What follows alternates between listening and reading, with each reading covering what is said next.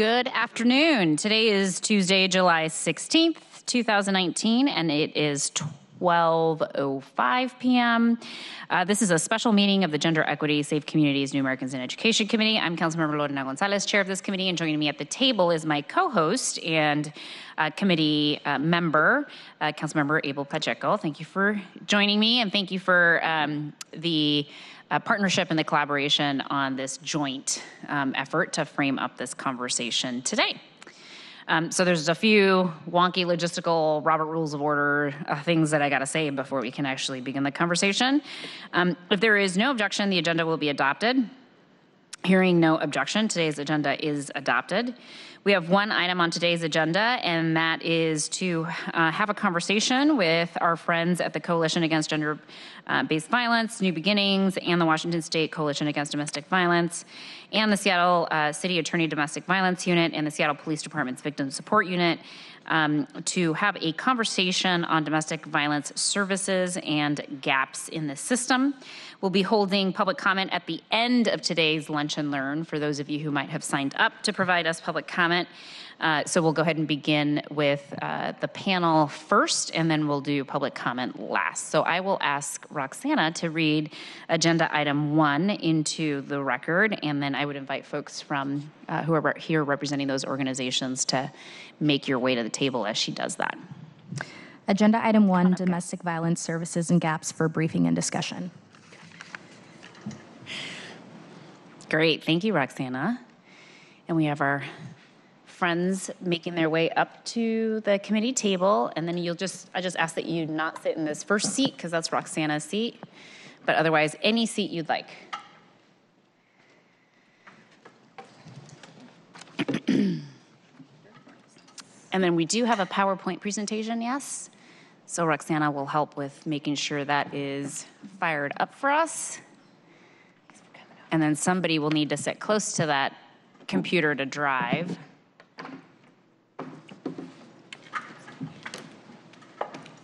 Great. Okay, and for those of you who haven't joined us at the table before, um, uh, you'll need to speak directly into the microphone.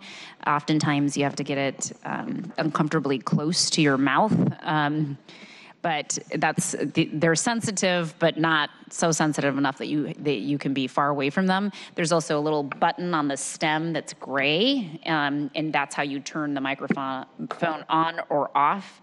In order for it to be on, the button should be green. So just make sure it's uh, the little light is green if it's not. So we will go ahead and start with a round of introductions, and then um, and then perhaps Councilmember Pacheco and I can make some introductory remarks around sort of what we hope to be able to frame up and um, accomplish with today's conversation, and then we'll kick it over to you all to lead us through the presentation.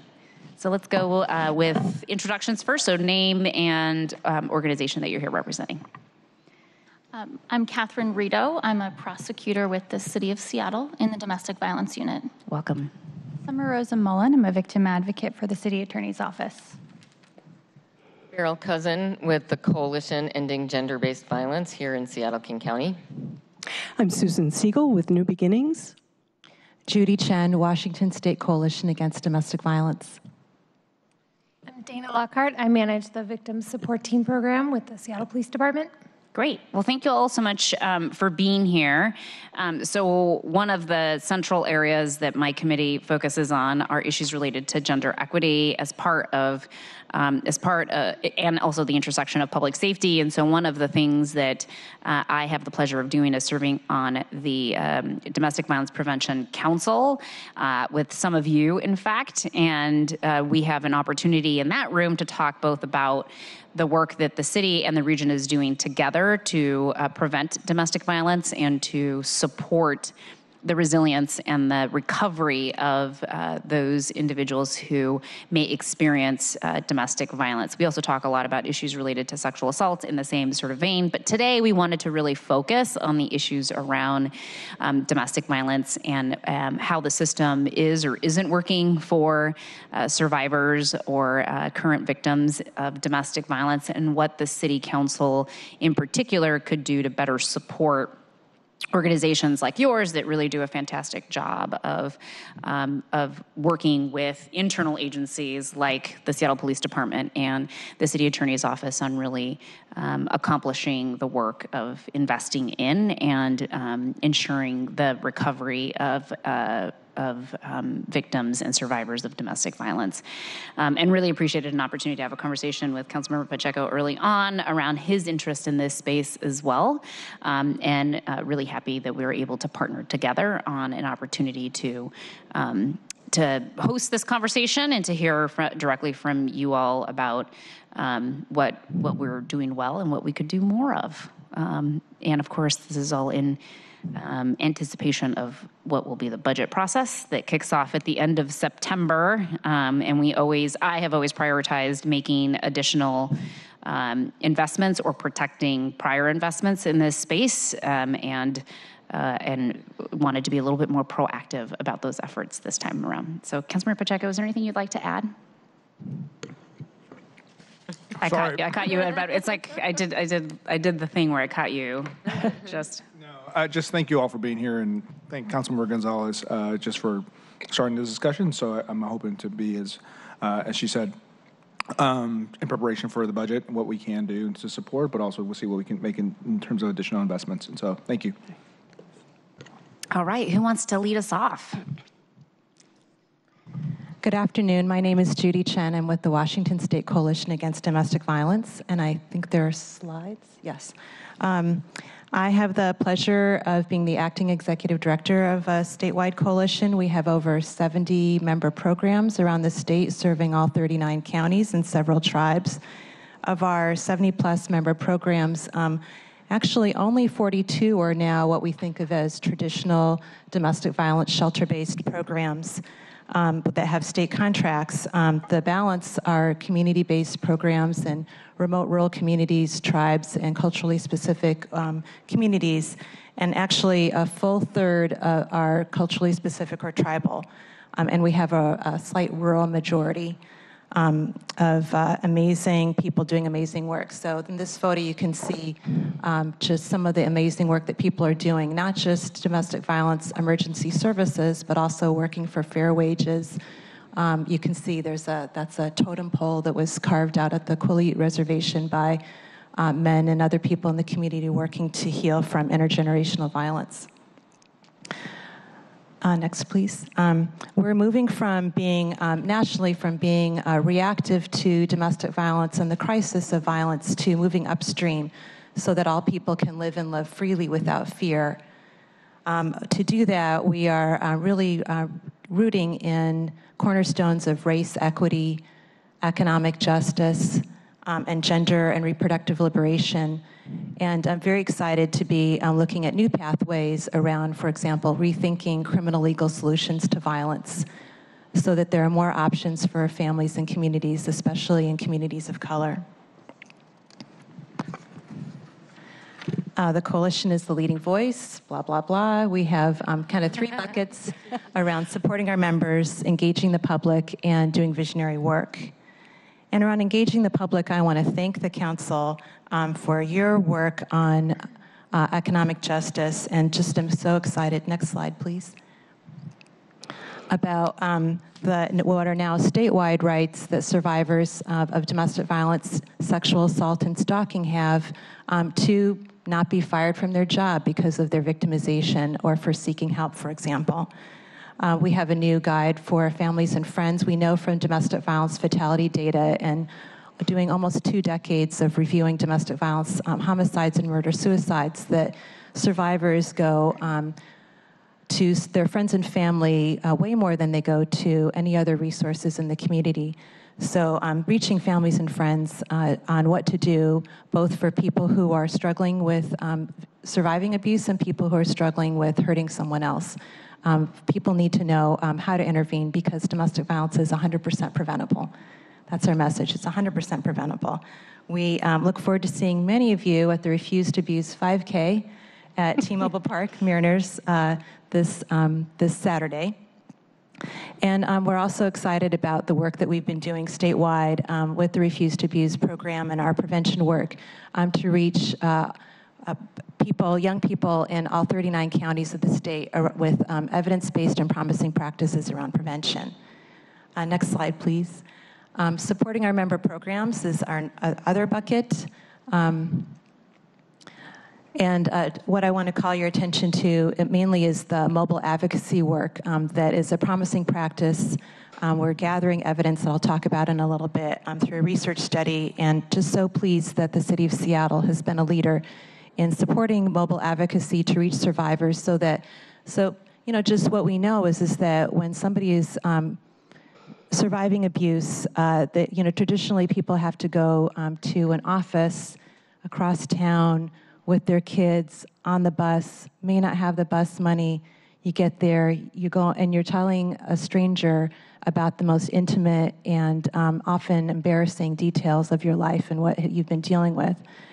And for, um, for many people, being able to go someplace is important, but for so many people, having someone come to where they are, especially if they don't have a car, um, they have to stay home with their kids, um, or they work the night shift, um, it's just so difficult um, to get to a domestic violence um, social service agency and having someone come to them or meet them at McDonald's and their kids can play or you know whatever it is um, to be able to talk about what's going on and get help that that is a promising practice um, that reaches so many more people especially people who don't speak english or have other barriers such as disabilities. Next slide please um, and then our third bucket is around visionary leadership and really recognizing that domestic violence, um, to end domestic violence, we need to have um, good jobs. People need to have good jobs where they can earn living wages and have safe time off of work so that they can go and get help.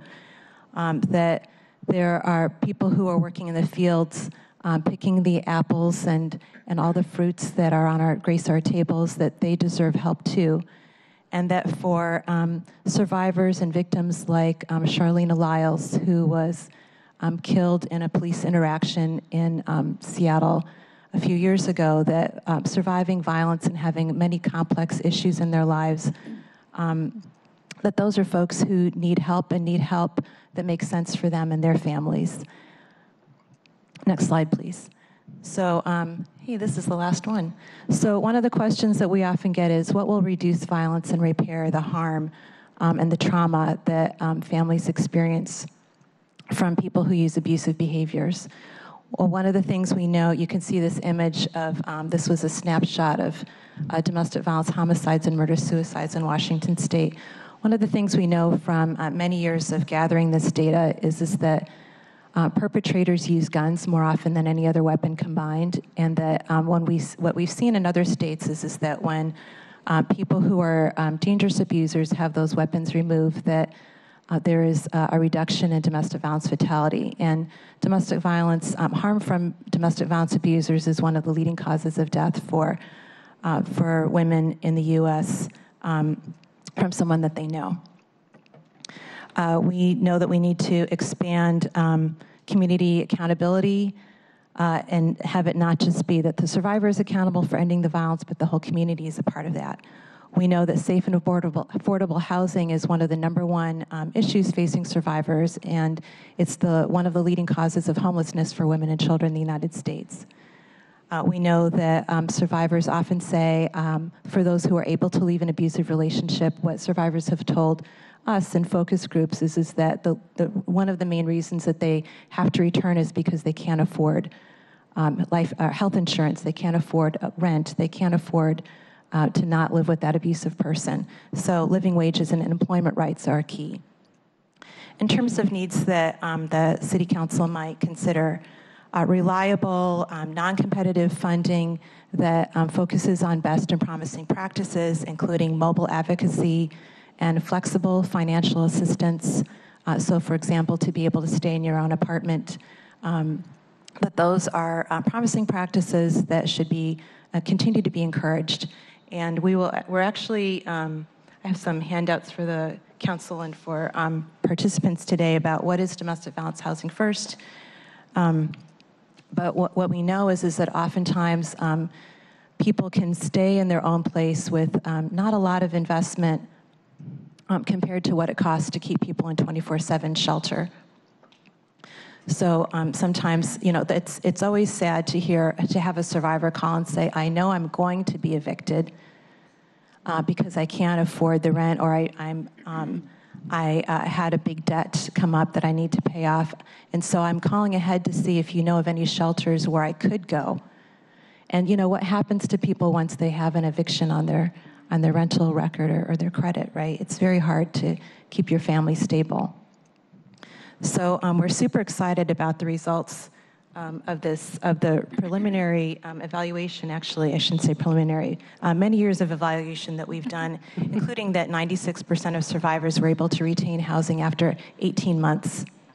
So our, we're um, working with the Bill and Melinda Gates Foundation and um, the feds to do a longitudinal study, and uh, the results from that study will be complete in 2021.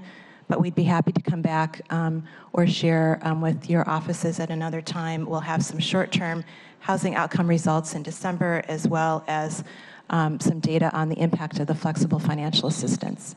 Um, that would be great to be able to get a preview of some of those um, options. I know that uh, not only statewide and nationally, one of the leading causes of uh, uh, women and children entering into um, a state of experiencing homelessness is domestic violence. Correct. And, um, you know, Seattle is not um, an outlier, uh, unfortunately, in terms of that statistic. It is also true that a large popu- a large portion of women and children facing um, and experiencing homelessness in our own city and in the county um, can say the same thing. Many Yes. of them have reported experiencing violence in the home, either um, a youth. Um, you know, who has experienced violence at home, uh, or um, you know, partner on partner um, uh, domestic violence. So I think it's really important for us to get a really clear understanding of how that impacts housing stability for individuals who um, are unfortunately um, trying to break this cycle of violence and needing all of the support they need to be able to do that.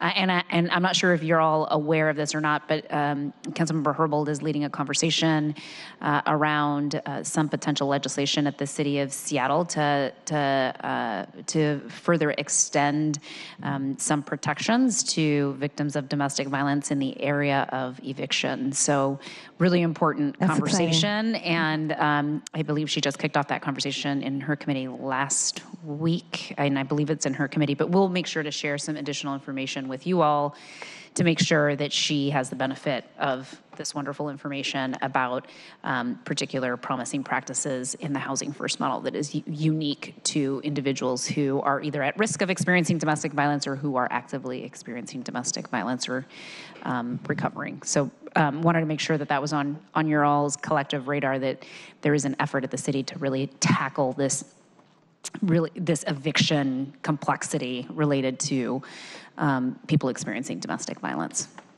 Well, we're quite excited about what we hear from survivors around how this has increased their safety and um, reduced further victimization in the data. So we'll be glad to um, engage more on that. Um, I thought the council might be particularly interested in the impact for refugee and immigrant survivors, who were 20%, 22% of the participants in our previous study, and I did not print out the 134-page report, but it is online. Lastly, uh, you know, or two, two further points, and then I'll yield to um, or turn to my colleagues. Is that um, lack of capacity for meeting basic human needs for survivors and their children continues to be a huge problem statewide. Um, the turnaway rates, um, you know, are, are tremendous in our state. Um, and we also know that building more and more and more shelter isn't the answer. There will never be enough emergency, emergency shelter for the need if we are meeting people um, after they have um, all of the, the violence has increased dramatically and all of their resources has gone, have gone down. They have no money left, no friends or family um, who uh, they're connected with because we know isolation is the first thing to kick in. And that is, if we are seeing people at that point, um, their needs are tremendous and the, there's, it's so hard to fulfill those needs. When we go upstream and help people before they've been evicted, um, before the violence has peaked, uh, before um, their children have experienced tremendous trauma. Um, that is, uh, that's the promise of what we could do. And um, those kinds of investments in prevention and um, earlier interventions make a huge difference. Um, and Uh, Lastly, rethinking criminal legal solutions to violence is something that we're beginning to um, engage a lot more with our colleagues around the state and the criminal legal system as well as in communities, knowing that um, for so many people that needs to be an option, and, and all of us as, um, as citizens and residents have the right to access criminal legal, the criminal legal system to protect ourselves, but um, there needs to be something else on the menu besides that. There need to be other options. So, uh, really looking at housing, um, living wages, uh, economic uh, options, um, opportunity uh, for um, all families. Thank you. I, I appreciate that um, highlight, that last point, because I know that there has been a lot of conversation within this community about, um, you know, the viability of in that cr- criminal legal system conversation. How do we, you know, if if the conversation has been historically focused on victims and victims only, um, are we leaving sort of other creative, innovative options on the table that could um, fall into the rubric of preventative? Measures that we could take into place to prevent the violence from occurring in the first place, which is really what I think the interest and the goal ultimately is, as opposed to having the blunt instrument of um, you know, punitively penalizing people who might actually be susceptible and amenable to some other type of intervention that is not quite as a blunt instrument. Not saying that that is the answer to every single situation, um, but but certainly, you know, appreciate the spirit of having conversations that. Um, lend themselves to a more holistic approach um, to be able to to really uh, pivot and turn the tide on these issues. If I could uh, um, address that point very briefly, because I know my time is probably up. Um, I think one of the one of the lenses that I try to look at it with is, um, of course, we want people who are causing harm and and um, through criminal activity um, to be accountable. Um, and uh, we know that there's it's a very complex issue and that for so many survivors um, so i want that accountability and for many survivors they can't access that system safely so what about them Yeah, yeah, absolutely. Excellent point. Councilmember Pacheco, anything before we move to the next organization? Okay, great. Merril, you're going to kick us So off I think next. I'm up next. Um, I think, uh, uh, so again, my name is Merril Cousin, and I have the honor of serving as the director of the Coalition Ending Gender-Based Violence. We used to be the King County Coalition Against Domestic Violence. Um, so, uh, uh, and we expanded our mission to include sexual assault and abuse and other forms of gender-based violence um, in our mission. So, we are a parallel um, sister agency to the state um, coalition and our state sexual assault coalition, working um, at the regional, so uh, Seattle King County level, on these issues. Um, and uh, this is just a list of, um, this isn't even all of our members. These are our member programs that um, provide some kind of services to survivors of um, gender based violence. So, survivors of domestic violence, sexual assault, commercial sexual exploitation, and trafficking. Um, and also um, anti LGBTQ violence. Um, and uh, like the state coalition and so and many of these organizations are also members of the state coalition. Um, and so we definitely work in partnership and a lot of what the state coalition does is sort of set the um, the broader or the state coalition set the sort of broader vision and um, and statewide agenda and then we work with our members here in Seattle King County um, to support their implementation.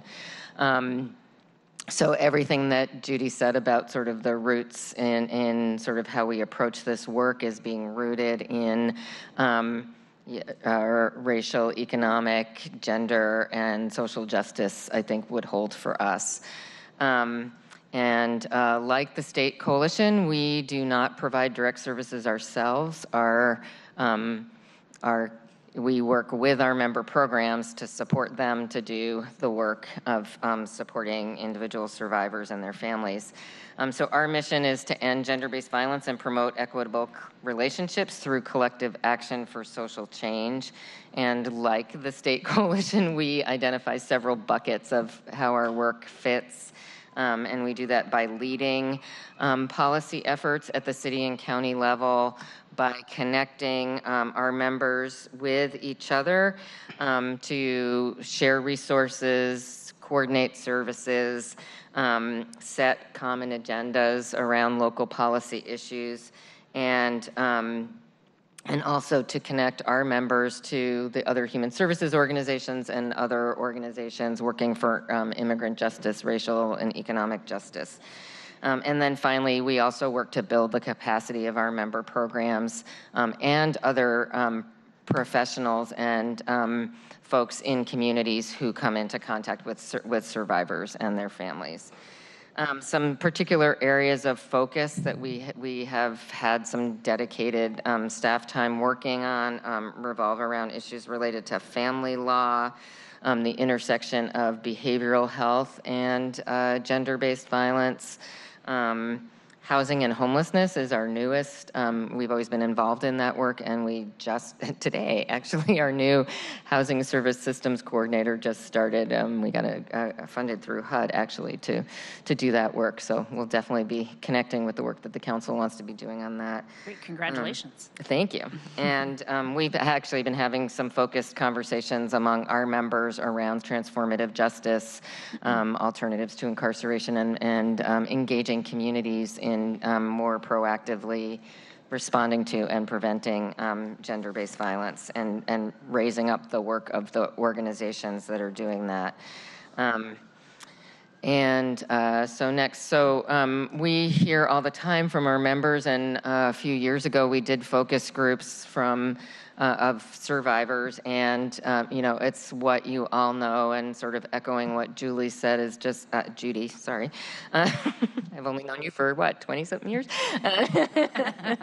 um, I, uh, you know the the we are so lucky in this community to have so many organizations that are respond you know that are providing just a whole host of services um, many of them rooted in specific uh, racial ethnic and cultural communities others serving specific geographic areas um, and th- it means there, there really are a lot of options out there for survivors, and everyone is stretched beyond capacity. And um, so definitely, I mean, it, thanks largely, uh, you know, significantly to to your to your work, we have um, expanded the um, level of services that are available, particularly focused around um, the survivor-driven um, mobile flexible advocacy, and um, there's still more that's needed. Um, and, and basically, the, the range of housing options um, is sort of one of the number one things we hear from survivors. Um, legal advocacy and representation, um, especially, not so much, not as much around the, cr- the criminal legal system as we hear about it um, related to family law and immigration issues, that that's um, where survivors are really being impacted um, for the long term. So are those, are those issues related to um, divorce proceedings?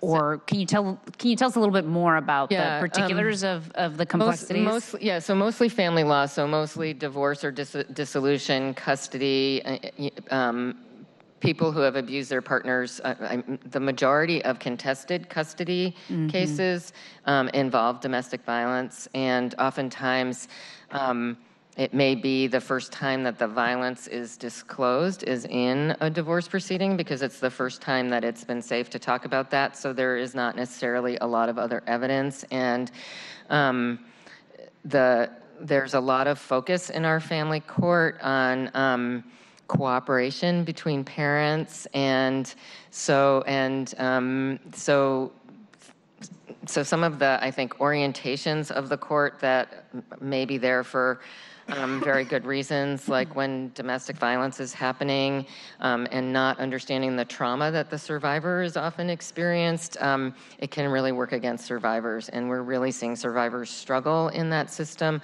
We're also seeing um, people who are abusive becoming really adept at using the system to further their abuse. And so basically, it's a tactic of control um, to keep the proceedings going.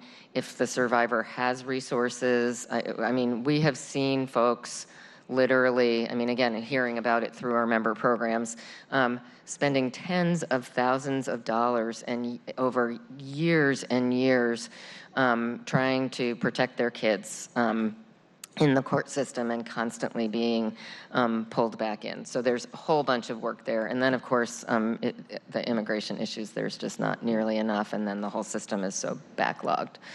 And so, um, in the immigration context, is that focus is that primarily around the uh, being able to achieve relief under Violence Against Women's Act, Yeah. or are there other components that are being triggered? If there's uh, any kind of custody um, issue that also involves, um, you know, in, uh, international, um, an international relationship or something like that, there's a lot that comes up, and the confluence of immigration um, status and family law when when they're splitting up. So yeah, but a lot of it is the U visa status, and uh, um, or even like trying to figure out is there any kind of relief that some survivors can get even if they don't have status and you know uh, some of those kinds of things i think i don't know if you have anything to add to that but She's giving you the thumbs up. You, you have given a comprehensive response. Um, you know, I just wanted to flag here that in the space of um, investing in additional legal services, um, I've, I've been a really huge advocate and Yes. pretty dogged about my um, perspective on this one that I think we need to be investing much more in legal representation of, um, you know, to provide people meaningful access to um, appropriate and quality legal representation. It's, you know, part of, uh, so I've done that in a couple ways. One is through the establishment of the Legal Defense Network that's primarily focused on providing free legal services in the area of immigration, specifically to individuals who are at risk of deportation or who are actively in deportation proceedings. One of the things that we discovered in that space is sort of a takeaway lesson was how many individuals were coming to participate in the program under the U Visa program that really needed to have mental health services as well. And um, and so one of the things that we have done to modify the program a little bit is to make sure that we're a little bit more flexible around connecting the dots of you know when you are applying for a U visa you need somebody to be able to vouch for the fact that there has been harm caused to you and that somebody tends to be a licensed therapist or a counselor or somebody else who is actively providing you therapy. And so setting aside sort of the legal requirements and those check boxes that you have to go through there's the actual basic need of mental health services for individuals who've been um, severely traumatized as a result of violence that um, that they've been subjected to.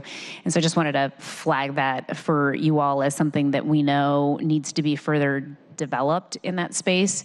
And there's also, um, you know, the the investments we've been making around um, uh, protection orders and other issues for um, organizations like the Sexual Assault uh, Law Center to be able to represent individuals who are going through that process um, and continue to connect them with much needed services. And I recognize that it's sort of dimes in a bucket. Um, uh, that you know we need a lot more to go into this space given given the amount of need and um, and I'm really interested in continuing to make sure that we're prioritizing the legal rep- advocacy and representation aspects for survivors.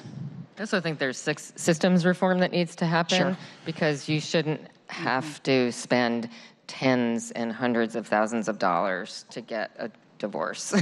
and um, there is, it's a whole other conversation, Right. and it's actually more at the, the county level and the state level, I think, is where most of the remedies are, are going to come and less at the city level.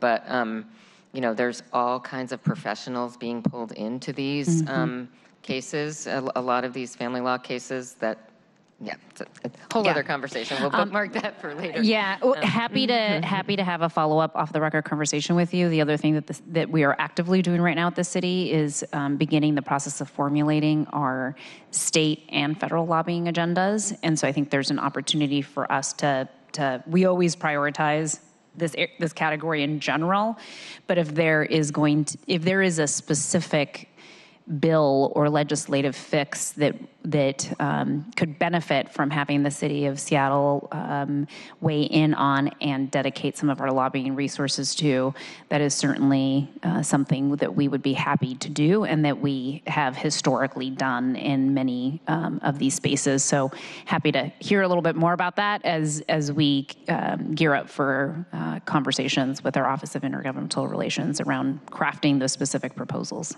Great, and we'll work with the state folks too, because they really take the lead on state. co- They're on state- fantastic, yeah. Great. Um, So I, I don't have to go through everything else. I think Judy framed it really well. I mean, the bottom line is we, we absolutely know that survivors really, really benefit from, um, sur- uh, you know, trauma-informed domestic violence advocacy and, and support services. Um, We also do have now, thanks to the county's um, uh, some funding from the county's mental illness and drug dependency um, fund. We have uh, some mental health um, therapists based at several domestic violence programs, which is a new thing. And then our position that focuses on, um, you know, making sure that both folks in the mental behavioral health um, field know how to respond to survivors of identify domestic violence and um, respond to survivors, and um, and that folks in the advocacy field, the, the survivor advocacy field, are better prepared to handle mental health crises and, and needs of the survivors they work with. Um, but the bottom line is if people can't feed their kids, if they can't afford rent, if they can't get a living wage, um, it's really hard to have any, you know, any success with these other things. So both and, not either or. And we are also trying to um, work. Um, I think this community leads sort of the nation in terms of um, some of the really innovative, culturally specific services um, and prevention programs that have been started here. Some have become national models. Um, and we are always looking to talk about community engagement, transformative justice prevention, and um, m- move our interventions further upstream, in, up, you know, including true um, violence prevention and, and changing community norms. At the same time, we need to address the real um, needs and suffering of folks who are who are currently being impacted. Um, and I think for individual agencies, that, that can be a struggle, is how do you do some of both, because the needs are so great. Um, So moving on, um, I think that like the state coalition, um, we are looking at um, beyond the criminal legal system. Um, and so certainly we want the criminal legal system to be um, responsive in the way that it's supposed to be and um, accountable. And we don't think it's contradictory to both be like supporting police accountability and um, responding appropriately to domestic violence and sexual assault cases throughout that system. Um, and but really, at the local policy options, I mean, Seattle has already taken the lead, as as Judy bookmarked on a couple of things like the safe, sick, and um, sick and the Seattle Sick sick, and safe safe time. How many S words can be in that sentence? Yeah, it's a Um, mouthful. yeah, and some of the um, you know anti-discrimination protections and things like that. Um, uh, health, housing, and human services policies, including policies that say that human services contracts should rise with inflation. So thank you very much for that yesterday. That was a great result. Thank you all for your Yeah, well, advocacy thank around you that. Thank you for your leadership. Um, uh, you know, a lot, I think, uh, certainly policy related to affordable housing and homelessness. And like one of the things that I kind of talk about is uh, DV competency, that like there is so much intersection between domestic violence and housing, homelessness issues, between domestic violence and um, mental health and substance abuse issues, and um, you know, children's issues. That folks in all professionals have to have a certain level of um, understanding of how to recognize uh, domestic violence and how to respond within their roles. They're not all expected to be domestic violence advocates, but their responses um, within their roles. And that's not necessarily something you get in social work school or you get in law school or you get in, um, you know, mental health programs or things like that. So, um, and um, I also think that the, you know this, the city council has a role in terms of raising aware- awareness and visibility of the issue, um, because unlike um, the way, you know, chronic homelessness shows up with folks um, being, living on the streets. It's not domestic violence, sexual assault, other forms of gender-based violence aren't necessarily as in our faces. And so it really takes bringing it up and raising visibility.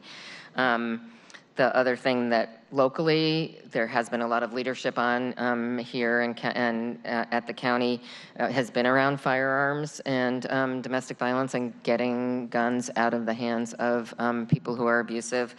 And um, uh, we, and we've been working with the city attorney's office and um, SPD around those issues, around issues of who survi- of survivors who have been arrested and criminalized, um, because many survivors are often um, are arrested actually for domestic violence or for um, other crimes that are directly related to the violence that they're experiencing, and then um, so many also find them their, themselves criminalized in the act of trying to survive. Um, and so, really trying to up our ability to support survivors um, uh, who have been um, criminalized. And um, we have been working with the um, Seattle Criminal, uh, the DVPC's Criminal Justice Committee around um, like a model uh, intervention program for people who have been abusive and around the, these issues. So there's a lot of great collaboration there. And finally, I'll just say, in terms of funding priorities, and I, um, I think we've talked to you about this before, but our number one funding priority for 2020, on top of no cuts to human services and the inflation ordinance, um, the inflation adjustment, um, is to um, around domestic violence is a central regional domestic violence helpline. Um, this is the culmination of more than two years of planning in the community um, for many, many reasons, including. The specific uh, dangers that uh, survivors face, um, the fact that it there is more um, reluctance, particularly on the part of immigrant and refugee survivors, um, other marginalized folks, to approach formal systems. Um, and because of the lack of capacity, frankly, to meet um, the needs of every survivor with in person, live advocacy, let alone um, uh, housing or um, or other kind or legal representation that um, a helpline is the entry point for many survivors and for some survivors it may be the only kind of domestic violence service that they can um, access. And um, there is not currently a dedicated 24-hour um, uh, central helpline or hotline for survivors of domestic violence in this region. There are several agencies that are mandated to staff their phones 24 hours, but they're not funded. So, frankly, I, I mean, they do the best they can given the circumstances, but um, it's usually people, um, you know, a combination of volunteers, folks who are on call, and folks who are doing this as part of their other job. Um, many calls um, go unanswered, and it also, like, it- it's you many survivors get really great trauma informed helpful responses and many don't and many get a busy signal or a voicemail and it's right now frankly it's a crapshoot and um, so we did a multi-year multi-agency planning process um, for what it would take to actually implement a dedicated um, 24-hour um, uh, well-staffed crisis or helpline um, here in um, Seattle, King County. And we have almost like three quarters of the funding secured, largely through the county's um, Vets, Seniors, and Human Services levy. They dedicated a big portion of that.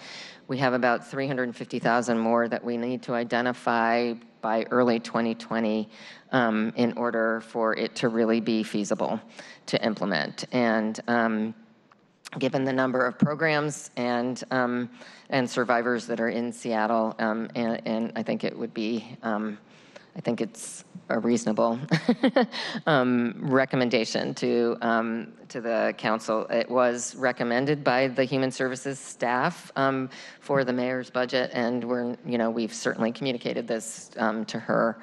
And um, also want to just call out that it's not only a resource for survivors, um, it's a resource for first responders.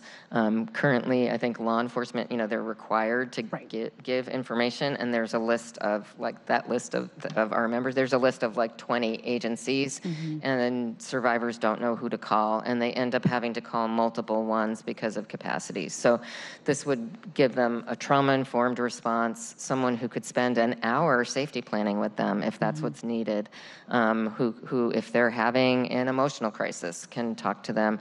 And we also want to um, uh, integrate a chat function and um, it will increase access. And we did some focus groups. I won't read this to you, but this is this just shows um, some of what the difference is um, between someone getting a great um, response from a helpline and somebody getting a busy signal or um, a uh, uh, you know, uh, someone saying, you know, we don't have shelter now, you have to call somebody else, and, and getting off the phone quickly because there's three other lines Right. ringing. So um, uh, that's our plug, and I know Councilmember I- I know Pacheco, I took more than my time, so Oh, that's, sorry. that's okay. Councilmember Pacheco has a question. Really brief question. Are there other regions across the country that have uh, a hotline like this, a service line? Yeah, there are a number of um, statewide hotlines, and we actually consulted with um, a couple of them. Um, many states don't have as many programs as we do here in King County.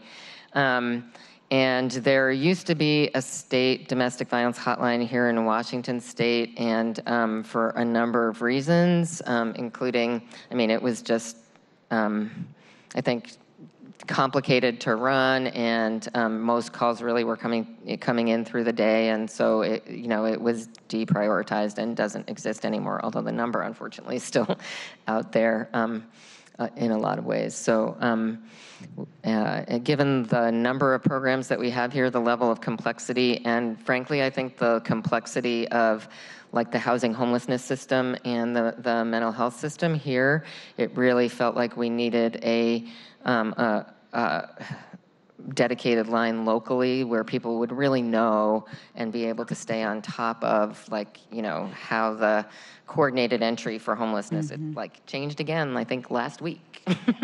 Um, you know so um, it, it really would be a way to help folks navigate the other services that they need in a really, really informed way and tell people what they can and can't expect. I do know that I, I do think there are some other county level hotlines out there. I know that Portland, um, Multnomah County had a crisis line. I'm, I'm not sure if that's still going. Um, do you know of any others? And, um, and then there's also some state, some state helplines.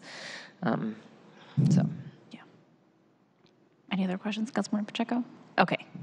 Um, Well, thank you, Merril, for that um, information and that presentation. I know that you and I have had conversations about the hotline in the past. um, um, And I think with the knowledge now that King County has also invested in the program, it, um, it makes a lot of sense for us at the City of Seattle to take a hard look at what resources we could contribute, knowing um, that we have the need as well. Um, and even though there are statewide organizations that I think do provide some level of a hotline, um, it is important to make sure that the organizations that we are um, referring folks to are from the communities that people are living within, um, which which is you know I think a, that geographic um, component I think is super important. I've heard some really compelling stories um, from folks about how a hotline um, made a difference for them in in their experience and being able to uh, do that safety planning and um, and um, move on to healing. Um, I've also heard stories about how badly it can go,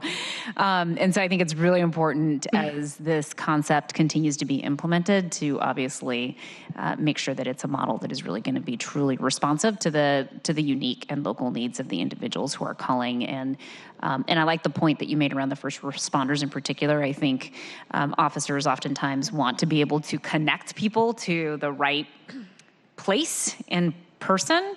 Um, and it does feel a little frustrating that you have to hand out sort of a here's a directory of every single nonprofit agency I can think of that's in King County that might be able to help you. Good luck, right? Like that that is not a meaningful resource. It's a resource, but it's it, it does shift the burden to um, the domestic violence victim in a way that I think is is really unfair to that person. And- And we have been focused on um, really looking at um, language access and how we make it accessible um, in, in terms of language as well as, um, you know, cultural appropriateness and things like that. And it really is a community effort, and it is going to take all of our community partners to, um, you know, be working with the helpline um, staff to make sure that they know what the folks that they're seeing in their communities need. So. Dana, did you want to chime in? I just knew, I was also going to put in a pitch for this as well, um, but it looks like I probably won't have time. Um, But I did want to also um, just say that this does help fulfill the requirements of the WAC. As the WAC is written around mandatory arrest now, um, law enforcement is required to offer the state hotline. The state hotline is no longer in service, and so this would help to kind of make sure that we're getting up to the requirements of the WAC. Yeah, great point. Great point. Okay, let's move along. Hi. Sorry, I noticed that we're running really short of time, so it would be helpful to know, um, because there's several of us Yeah. that have to, that haven't spoken yet, so um, what could you suggest to us about? Yeah, how much how much time do you got left here? I got time. Um, I think I think we I think we can, and I don't think the chambers are reserved for anything else. So I think we've I think we've probably got to get. I think we can go until about twelve fifteen ish, um, maybe a little bit longer, but I think we're we're safe Okay, until somebody comes in here and tells me otherwise. okay. Well, thank you so much. I'm Susan Siegel, Executive Director of New Beginnings. And New Beginnings was founded as a grassroots effort in 1976 to address a documented need to provide safe haven for women and children fleeing abuse. And what began as a, a small communal shelter 43 years ago has evolved into a multi service agency, which includes a 24 hour helpline, individual and group support, children's services, homelessness prevention, short term bridge housing with a rapid rehousing component, legal advocacy, therapy, community education and training, as well as prevention education for youth. New Beginnings also coordinates three um, uh, clinics for survivors really throughout King County a DV Family Law Clinic, a DV Protection Order Clinic, and a technology enabled coercive control clinic. Um, we're also a proud participant in the latest iteration of the DV Housing First demonstration project and the longitudinal research that, uh, that Judy spoke to and that will be available in 2021. In 2018, we answered close to 5,500 crisis calls on our 24 hour helpline. Um, we provided in person support to 525 adults and 174 children. 80% of the survivors that we served uh, were low income, and 50% were people of color. And we also touched 3,200 uh, adults and youth through our community education and prevention efforts. If we can go to the, to the next slide. What follows will echo quite a bit of what Judy and, and Merril spoke to, so I, I think I'm not, you know, in, in the interest of enabling other folks to speak, I'm not going to go over all of these points again. Um, other than to say that, um, or to, to remind us that domestic violence remains a hidden epidemic in our community. And um, two of the best things that we can do are really within our reach as a community. One is to, to use an unfortunate uh, military phrase, we need more boots on the ground in terms of advocates and educators that are reaching out far into the community to, to educate about domestic violence, to talk about services that are available, to ensure that community members have the knowledge and skills to, to support survivors. Um, and we need that countywide helpline. Um, one of the things that uh, Merril really uh, described it in um, very eloquently. So the only thing that I will add to that, though, is that in the planning for that helpline, we have always conceived that it would have a strong uh, assuming that we're able to obtain the full budget that we need, that it would have a strong kind of promotional component to it um, so that we'd really be able to lift this up as a high profile resource for survivors, both through broad outreach in the community as well as, as more culturally specific um, community outreach as well. So this in, you know, is not only an incredibly essential service, but it also could present us with a mechanism for reaching a much broader swath of the community and to make them aware of the kinds of supports and services are, that are available. So, moving the dial, I think that uh, my colleagues have touched on a lot of these kinds of things. Um, some of these are, you know, represent obviously broader cultural change that we all need to be a part of, and City Council can do a lot um, in in the way of of talking up these issues and and modeling um, this kind of um, action. Um, we really, we really need, as as Judy and Merril both said, to aim as much of our efforts as far upstream as we possibly can do. And it really is going to involve the, the full village of, of our community to do that. So I'm, I'm going to cut it shorter than I would have, just so that other folks have a chance to, Okay, to speak. great. Thank you, Susan. I really appreciate all the work that you all have been doing. I know that you've been good partners to the city and to others in um, in doing this work, um, and have had the pleasure of um, hearing you speak at the DVPC meetings on really important issues. I think the last one that um, we heard from you all about is around the technology components, which was fascinating, uh, terrifying, but Yes. fascinating in terms of the emerging area of work that is that is uh, happening in this space around how technology, uh, while um, it can be a wonderful, helpful tool to create efficiencies in many other areas of our lives, it is really being weaponized in this space of domestic violence. And um, hearing some of the innovative work that you all are doing uh, was really uh, inspiring and uh, promising in terms of figuring out how do we how do we how do we really think about these tools that many of us around this table use on a daily basis without without even blinking or batting an eye at um, and thinking about how those those same tools are used to just terrorize people um, and of course that means that the population of people who are causing harm is becoming younger and younger and younger um, and so I, I thought we learned a ton from that conversation, including how uh, youngsters think about bullying and how it's not really, they don't use that word really. Uh, what was it? Drama. They use the term drama. Yeah, there's a lot. There's not a lot of bullying, but there's a lot of drama. Um, A lot of drama. a lot of drama. And I think us old folks use that term as well, but perhaps in a different way. um, so thank you so much uh, for being with us and for the work that you do as well. And, and just a, a very quick thank you also for the annual inflation adjustment legislation. That is critical. Thank you. Yeah, of course. We're, we're happy to do it. Now we just got to make sure it gets into the budget. All right, let's hear from the good folks over at SPD now. Hi there. I'm here to tell you about the Victim Support Team. Um, so, the VST program provides a victim centered, trauma informed, collaborative response that meets the emergency needs for survivors following a traumatic event. VST was designed to address the gaps in services that occur on the weekends when domestic violence calls are happening the most frequently and when community programs are hardest to access. Um, on the weekends, these volunteer teams are called to respond to crime scenes at officers' requests. The presence of these community volunteers um, help break the cycle of violence and allow survivors to feel supported by their community as well as by the Seattle Police Department.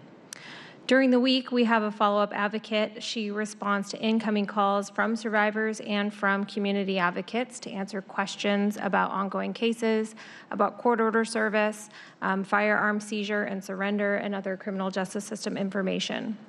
Uh, The VST program is part of the domestic violence unit, uh, which is part of the Seattle Police Department, and has been part of SPD's response to domestic violence since 1996. Last year, VST program received over 1,200 referrals. In addition, the VST staff responded to over 50 requests from community uh, for from the community for training, outreach, system improvement, and gender-based violence prevention efforts. And currently, our VST program has over 60 community volunteers, many of whom have been with us for about five years or more. Um, and I start with this statistic, I think is really important. It's a cornerstone of how we approach our interventions and also how I train patrol officers to utilize our program. I need them to know that we will never respond to a traumatic event or a violent event with urgency or pressure for the survivor to make drastic changes in their life that they're not ready for. Rarely does the moment of crisis and heightened violence also correlate with the exact moment when a survivor has all the tools and resources and information they need to act on that plan to keep them safe. So we're planting seeds, we're providing critical information, and most importantly, we're connecting them to the long-term community support and advocacy from programs like Susan's and other programs that are member organizations with the coalition. So the domestic violence calls that the victim support team respond to are not only person-to-person intimate partner violence. Um, SPD officers are responding to multiple forms of coercive control and um, gender-based violence. Many of them are overlapping. For survivors of intimate partner violence, uh, the VST program can help to identify uh, safe housing options, we can walk someone through what the process is to obtain the domestic violence protection order if that's what they choose is safest to do. Um, we can provide transportation assistance. We have taxi vouchers, and now we have a contract with a rideshare company as well. Um, we have 165 community resource brochures in 18 different languages. That takes a lot of time to navigate through. Seattle has a lot of resources, but it's very complicated and it's a hard process to figure out what is going to be the most appropriate for that person. Um, we also have a lot of several, we have several emergency resources such as food, clothing, baby needs, and cell phones. Um, for people who are experiencing stalking, uh, we can provide tools and strategies to help document future incidents and information about anti-harassment and stalking orders. We are also frequently engaging with tech or cyber abuse, and we do call this technology-enabled coercive control, or TEC. So if you see it written like that, I didn't spell tech wrong. Um, in these situations, VST can provide tech-specific safety planning strategies that include identifying potential compromises in their devices and resources to help document online harassment and impersonation. VST also supports survivors of sexual assault by offering transportation to a sexual assault nursing exam, um, and we also accompany when uh, a victim is reporting to law enforcement their assault. Uh, we support children who are abused by waiting with the kiddos for CPS at the precincts. And a lot of people don't know, kids are oftentimes waiting at these precincts for CPS to arrive for over four hours. Um, VST is available to assist with officers to help reduce the traumatic impact of that experience for children. For families impacted by adolescent family violence, we can provide resources for parents and other family members, and we can also offer safety planning that involves alternatives to youth incarceration in partnership with Step Up and FIRS. Um, and when working with victims of elder and vulnerable adult abuse, we can connect the survivor and supportive family members with the SPD Elder Abuse Advocate and Seattle Senior Services. So I have lots of recommendations, but we don't have much time. So I'll start personal here is that um, we're asking for ongoing operational budget for the Victim Support Team program. Currently, SPD's budget supports the three full-time position, myself included. All other costs associated with the victim assistance and volunteer training are not in our current budget. The Seattle Police Foundation acts as a fiscal sponsor for my program and helps to raise the roughly $20,000 necessary for annual operation costs and victim service delivery. So we will be asking for support to encourage SPD to pay for the volunteer training and retention expenses as well as the necessary victim services. Um, also, specific to SPD, um, we're asking for additional advocacy staff for the Seattle Police Department. The domestic violence unit currently only staffs two felony advocates each of them last year with a caseload of 450 people. Their workload continues to expand, and the structure of the program that was designed in like the early 90s, I believe, was designed at a time when the population of the city was nearly a quarter less than what it was today, what it is today. Their increasingly high caseloads create a gap in services for victims, most significantly during initial investigation, when suspects are at large and often pose the greatest risk to survivors. We'll be looking at opportunities to fund a third felony advocate to address this current need and enhance the level of advocacy SPD can provide. And we'll also be looking for opportunities for a fourth VST position that can focus their work on systems improvement as for a more trauma-informed, victim-focused response to gender-based violence within the department. Um, I think we spoke about housing. I might I think maybe I might have a bit of an angle too that's more specific to us, but from a first responder and emergency service and referral program perspective, on the weekends when community programs, their doors are shut for the most part, um, the fact that the emergency housing has gone away um, in a lot of regards is is very challenging. Um, we are uh, relying more heavily on using motels. Um, and this is again through donations through the Seattle Police Foundation. Um, we're finding that this model of, is putting a strain on existing hotel business partners who are beginning to deny this type of hotel stays for the community programs that we're working with. Um, that they're using this temporary model of hotel placement as well. Um, it's not sustainable for our city, and it's not what's best for survivors who really need the stability to heal. Um, so flexible funding, mobile advocacy are proving to be very successful.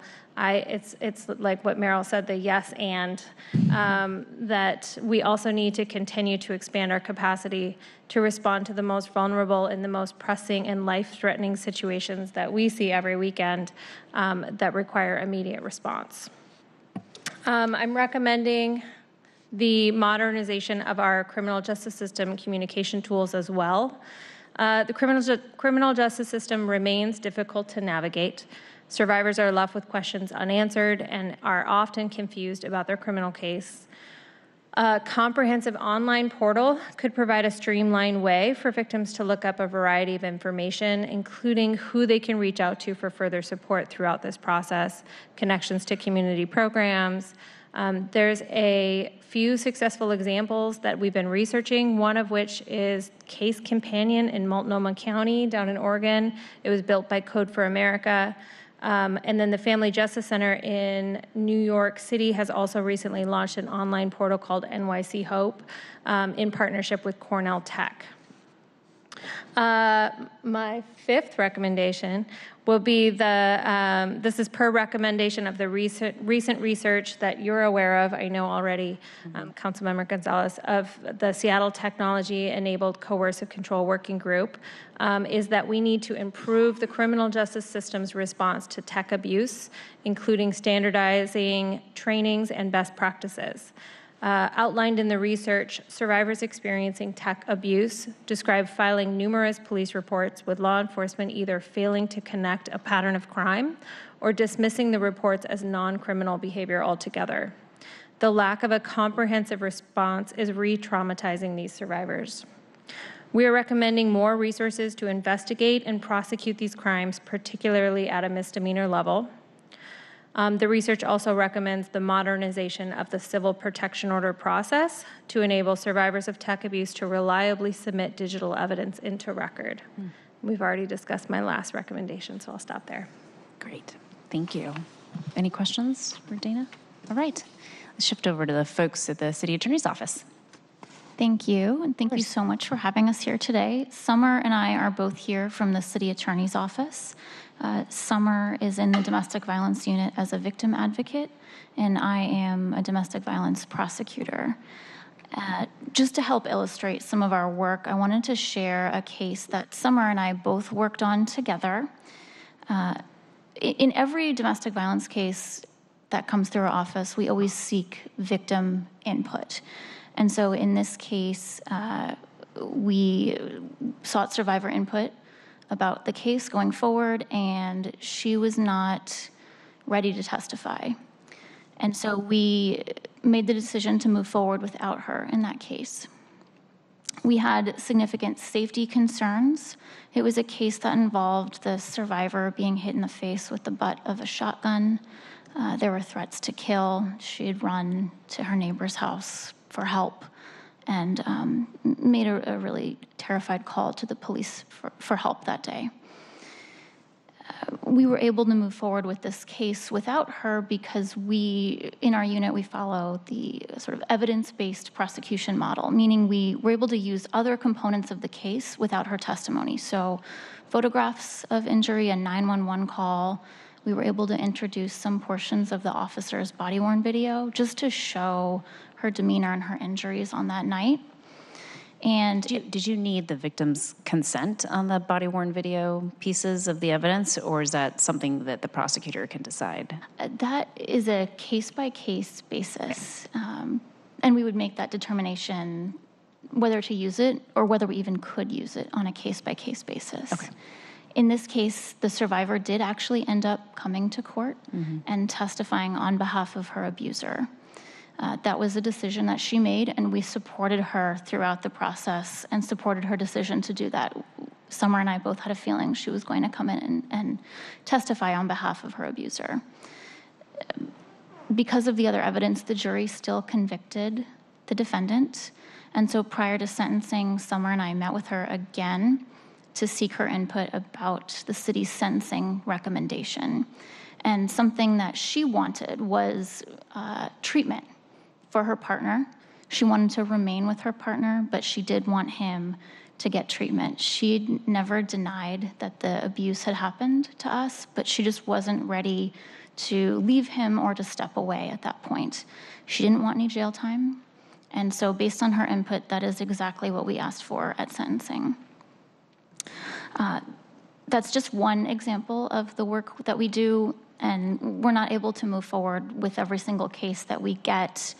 And not every single case has enough evidence that we could proceed without the testimony of a survivor. Um, Sometimes, you know, if we don't have a survivor who's willing to testify in court, that means that we can't actually move forward with, with a case and hold that abuser accountable. And at that point, we, we just don't move forward. We never force a survivor to testify in court or to do something that they're not ready to do. Um, But if we're able to go forward using that evidence-based prosecution model, then we will do that and try to get some accountability for the offender. And I would say about one-third of my trials have proceeded forward without the um, testimony of a survivor of domestic violence. And the reason that we go forward on these cases is because of the massive public safety, community safety concerns. I think that's something that everyone is aware of, that domestic violence is a, the greatest predictor of future violence to that individual or within the community. Uh, We're not able to go forward with every case. One of the issues that we face is, is a capacity issue, a staffing issue. Uh, We have five prosecutors in our unit. We have one detective who is assisting with the misdemeanor caseload that we have. And in 2018, we had 1,287 cases that were actually filed. And so in addition to those domestic violence cases, adding in non-domestic violence cases like stalking, cyber stalking, harassment, child abuse, sexual assault, animal cruelty, what that means is that each prosecutor has a caseload of about 300 cases that they're working on. Our unit is very innovative, and this city is very innovative. We're on the forefront of changing the way that we respond to and handle domestic violence and other uh, victim-involved cases. And we're changing the way that we practice in response to input from survivors and in an attempt to hold offenders accountable and increase public safety. But the issue is capacity. Uh, we need more people. I, I think that's something that we've heard from everyone. We need more people uh, assisting our unit so that we can continue to better serve survivors and better serve our community. And I'll let Summer talk about the role of the advocates. Thank you. So the victim advocates in our office, um, we have seven advocates now, and we typically will attempt to make contact with about 3,100 um, survivors of domestic violence ev- every year. So for each report that we get, we have an advocate reaching out to try to reach that person. And we do that because we want to find out what what do you want to see happen? Uh, we want to be able to safety plan with them, and we want to be able to connect them with community-based resources as well, because we know that the majority of people who interface with the criminal justice system do so reluctantly, and for good reason. The criminal justice system has been historically harmful to victims, to survivors, and uh, we acknowledge that. So our role as advocates is to be there as a support to help explain this system to explain the rights of the victim and to um, assist them through the life of the case. Um, for the cases that are filed, are, it can take six months to a year before a case finds a resolution in our court. That's a lot of time and a lot of waiting and a lot of questions. And so our additional role there is to make sure that during that time the victim's input is still considered. We want survivors to feel like they're heard in our office, even if ultimately a prosecutor decides that they're going to make a different decision. It's important that a survivor have the ability to voice their opinion on the case um, and that they know what their rights are as far as how to continually voice their um, feelings about a case. When we work with survivors, we hear consistently that survivors want treatment for offenders. They don't want jail time. Jail times can be harmful. Jail, jail time can mean that they're not working. Uh, and jail time can mean that they could lose housing. Um, they want treatment. And so the domestic violence intervention program is really exciting for our office because it gives us an ability to meet that need, a potential to invest in change and offender accountability um, in a way that implements a community coordinated community response um, because we don't just want to put them in treatment. We want to make sure that everybody's on the same page about what happened in the relationship. We need the big picture approach to domestic violence because it's not a snapshot that you see in a police report. It is a pattern of behavior that harms our survivors and our community um, because of that, when we talk about capacity issues, we're talking about additional prosecution and advocacy staff to specifically address the DVIP program, to go to those meetings, to be there with historical knowledge, to be there with input from survivors about what's going on from previous history, whether it be prior reports that were never filed, or if it be uh, new information that the victim is sharing about how the offender's behavior has changed or hasn't changed since they started treatment. Um, we think consistency is important, and investing in that program in that way is one of the best things that we can do. Um, in addition to that, echoing uh, the wonderful work of VST in highlighting the issue of tech enabled coercive control. Um, we are falling short on investigating and prosecuting these crimes. Um, even if it's not a cyber stalking case, a, a DV order violation, and we had about 500 last year, could be a text message. Um, it could be harassment online. Um, those cases require a, a, great deal of manpower and technical proficiency that our office, frankly, doesn't have. Um, so when we are looking at ways that we can assist victims of domestic violence, survivors of domestic violence, we need to listen to them, and what they're saying is that they want offender treatment and that they want us to prosecute these cases. They want our help in doing in keeping them safe in that way. And so when we don't do anything, puts us on the line. So those are the things that we really feel are important at this time, but we also want to invite you to come to our office and see kind of what we do and what our process is. We are really proud of the work that we do in the domestic violence unit. Um, like I said, I know that the system is is harm can be harmful to victims. Um, but when they are interfacing with our system, we're doing the best that we can to make sure that we are um, honoring them with dignity and respect and trying to um, create outcomes that are separate from your traditional pattern of prosecution. Yeah, that's great. Thank you so much for um, the work that you're doing. I know it's hard work, and um, and I think the panel today really sort of exemplifies how uh, this is really truly a full spectrum of um, work, right? There's sort of the prevention and recovery aspects that are um, much more service oriented. Um, and then there, there are sort of the advocacy pieces around making sure that we're really having transformational change in our systems by changing law and policy and making investments in those things. And then there are sort of the internal processes, right? So as institutions and people who work within government institutions, we have a responsibility to not further perpetuate harm or uh, cause harm ourselves in in the work that we're doing on the inside to hold people accountable, um, people who are creating harm. So I think this sort of really lays out the full spectrum of um, of the universe that we are operating within, and really pleased that this is one of those few spaces where I feel like there's a lot of alignment amongst internal and external stakeholders in terms of understanding what unique role each one of us plays in uh, in really eliminating domestic violence um, and, and harm within our community. So I really want to thank you all for the work that you do every day, the hard work you do every day to advocate for, represent, and protect victims of domestic violence in um, in our city and beyond. It's really important work, and um, and I and I really am appreciative of, of all the work that you do. Councilmember Pacheco, anything you'd like to add? Uh, just really, just have a quick question. Um, one of the things that I'm going to be I'm going to be particularly mindful of is just in terms of the time of, of the need for the for the investment, but also just um, given just that this is the longest period of economic prosperity that we've had since the depression.